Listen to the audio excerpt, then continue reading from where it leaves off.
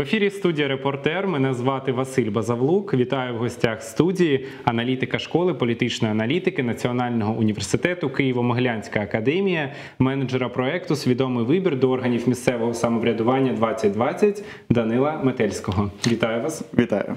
Сьогодні поговоримо про місцеві вибори 2020 року, які вже стали таким досить резонансним явищем у суспільстві, та про таке явище, як діджиталізація, до якого ми всі таки прагнемо. Тож давайте розпочнемо з обговорення теми місцеві вибори 2020, які вони, на ваш погляд, вдалі чи не зовсім, які порушення фіксувалися. Ну насправді, якщо говорити про вибори, які зараз йдуть, то єдине, що треба сказати, що вони складні. Е, Нещодавно якраз ЦВК навіть публікувала інформацію, те, що вони теж визнають, що ці вибори йдуть складні, тому що просто є ряд речей, які їх ускладнюють. Як мінімум, ну перша річ це пандемія коронавірусу, і через яку велика кількість людей дійсно боїться те, що може захворіти, приходити туди буде буде скупчення людей. Друга проблема це новий виборчий бюлетень.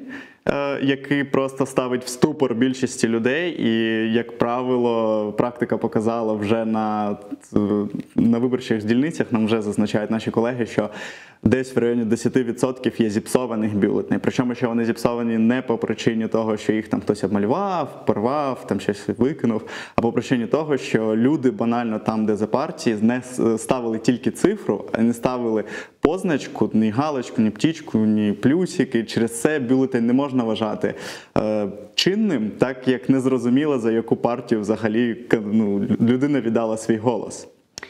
А наскільки важливо людям йти голосувати, тому що ми усі розуміємо, що явка 37% це мало. Е, З чим це пов'язано? Ну, це пов'язано як мінімум з тими причинами, про які ми до цього говорили, і з зневірою людей взагалі до чинної влади. Як правило, люди по практиці більше йдуть на президентські вибори, менше йдуть на парламентські, і найменше взагалі йдуть на. На місцеві вибори. Хоча насправді це дуже незрозуміла ситуація, тому що якщо президент є гарантом конституції і до нас немає взагалі ніякого стосунку, парламент нам встановлює закони, то міські вибори вони найважливіші, адже депутати встановлюють норми наших міст. Вони міська рада якраз таки вирішує ті проблеми, які нас оточують у нас за вулиці, за вікном.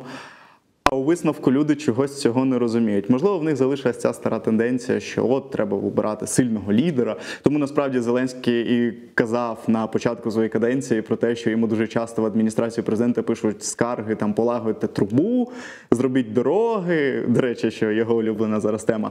А, і це доводить ще раз, що люди не розуміють, який орган за що відповідає. Коли оголосять результати місцевих виборів, адже в Одесі вже п'яту добу продовжується підрахунок голосів, і така тенденція є, до- є досить сумною, адже таке вперше.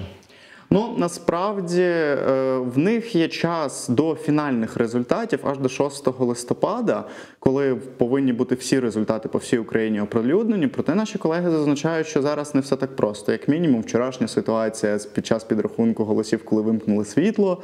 Доводить про те, що не все так просто. Інші колеги зазначають, що приходили з ТВК і казали, що от сьогодні ми нічого передавати не будемо. Є люди, які там сидять вже 3-4 дні, вони там ночують, вони оберігають ці е, бюлетні.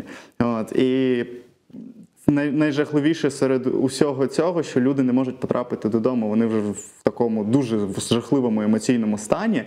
І навіть е, ці бюлетні, коли здають, сьогодні от дивилися величезніша черга. Коли вона закінчиться, сказати важко. Ну дуже сподівалися, що от за 3-4 дні повинні були вже оголосити результати. Це цілком нормальний термін для того, щоб все здати, але.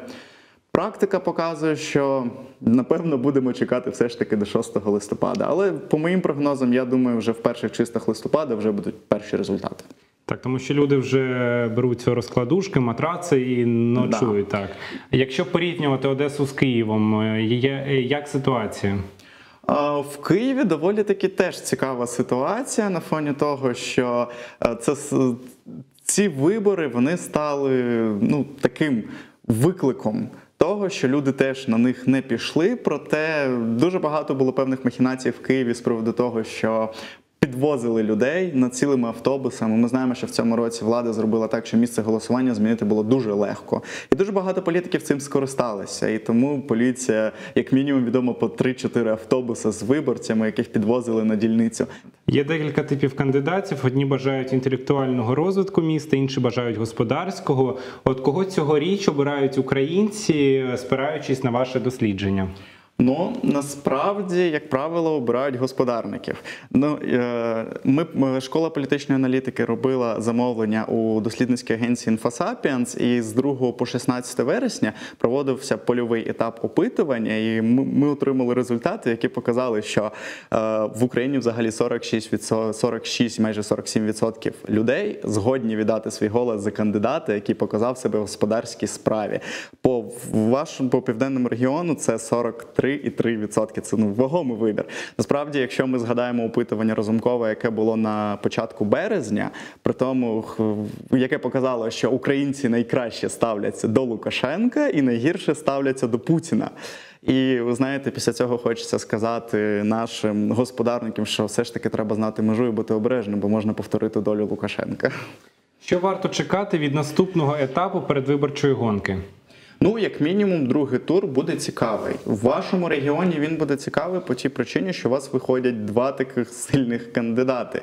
Причому у вас не пройшли серед мерів і навіть не сильно пройшли і в міську раду по такі проукраїнські партії. І виборці, які голосували за них. Зараз, ймовірно, за все будуть поділені на ті, хто не піде голосувати, тому що вони не підтримують цих кандидатів, чи підуть голосувати за того, за кого будуть натякати їх друзі. Тому що ми розуміємо, незважаючи на те, що різниця між кандидатами ну, доволі таки велика. Але на другому турі може все змінитися. Можуть бути махінації, може бути все. І тому люди вже будуть обирати якогось одного кандидата. Знаєте, як із двох зол вибрати лучше. От. Поговоримо про діджиталізацію, про це взагалі таке, та у якому майбутньому нам варто чекати повної діджиталізації України. Ну, Україна останнім часом стоїть на шляху діджиталізації, і це, напевно, певна перемога чинної влади в тому, що вона започаткувала цей шлях і вела наприклад, і все більше вводить електронний документообіг. Покращився реєстр, і додаток Дія це дуже зручна річ, якою можуть користуватися українці. Проте станом на сьогодні українці не дуже мають довіру до цього додатку по тій причині, що не так давно навесні ми пам'ятаємо, коли був злив даних через телеграм-боти, і за гроші можна було купити дані людини, яка тобі була потрібна.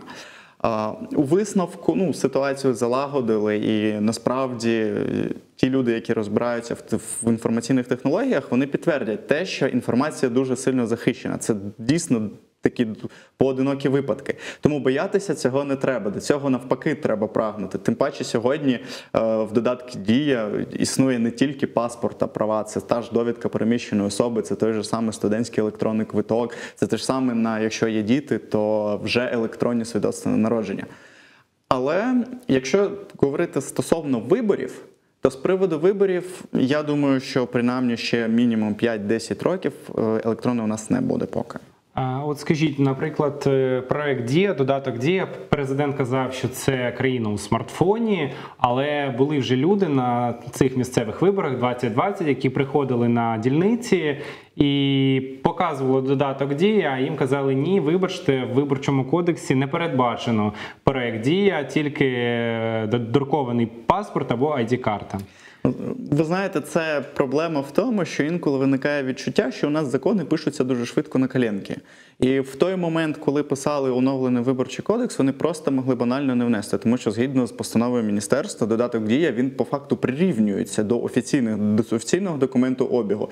І те, що така ситуація виникла, це дійсно проблема влади і проблема тих, хто пише закони. Тому я дуже сподіваюся, що це дуже швидко виправлять. Скептики кажуть, що проведення виборів в онлайн режимі спричинить фальсифікації, які неможливо буде присікти. Але є інша сторона медалі. Ведення онлайн виборів це збереження екології та людського ресурсу.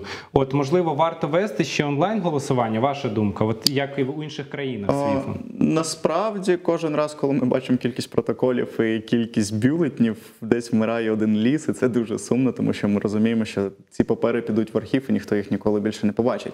Є гарний приклад країн, які пройшли діджиталізацію. Це Естонія, яка в 2008 році почала запроваджувати проєкт електронної демократії. Ну вони насправді на то взяли кредит. От і це, ну звісно, у нас є велика різниця по кількості населення, по кількості доходу на країн, але е, цей проєкт в них окупався аж 5-6 років, це мінімум, і люди не дуже його сприймали з самого початку. Перший час в них було е, таке нововведення, що їм давалися такі ID-картки спеціальні, якими вони могли вставляти під'єднуватися до свого комп'ютера через спеціальний перехідник і в будь-якому місці голосувати. В них на голосування давалось не один-два дні, а давалось протягом тижня.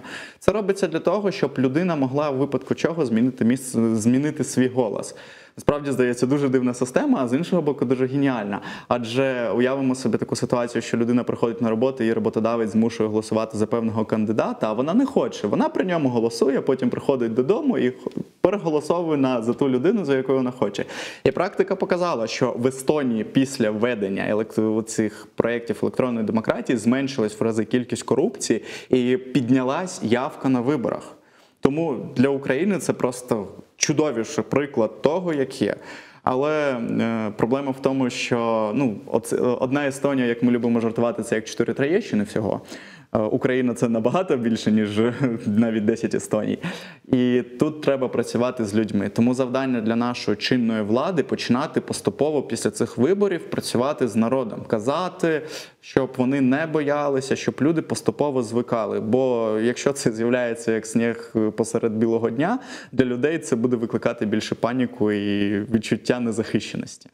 Вони ж можуть навіть е, е, ві- відслідковувати свій голос, так тому що бюлетені Так. вони кинули, а за цим можна стежити ще. Так, вони можуть е, слідкувати, чи як в системі зареєструвався їх голос. Вони точно впевнені з приводу того, що воно анонімізовано. А проблема, ну, ну, проблема ще у нас в тому, що у нас немає такого рівня довіри до влади. В них вони можуть з представниками влади спілкуватися через. Ті ж самі засоби Zoom, Skype, і це дуже легко виходить. У нас, на жаль, поки такого нема. І якщо ну, Якщо ви такий ще один момент, в них, коли відбуваються вибори, в них нема агітації, прям як в нас з бігбордами і іншими, тому що в них просто нема сенсу. Люди самі знають вже кандидатів, хто за що голосує, бо в них ще паралельно ведеться статистика. І такої статистики для нас не вистачає. У нас є рух чесно, який намагається це робити, намагається робити опора. Якщо ви зайдете на сайт і загуглите там е, дані депутата, ви можете побачити його історію, скільки він ходив, скільки він голосував. Зараз боти навіть такі роблять. Але люди поки цього не розуміють. Ну тут більш глибинна проблема, що багато людей не розуміють, в чому взагалі робота депутата. Не те, що міської ради, навіть е, взагалі депутата Верховної Ради. Ми можемо твердити, що молодь вже пройшла цей етап діджиталізації. От як бути людям похилого віку?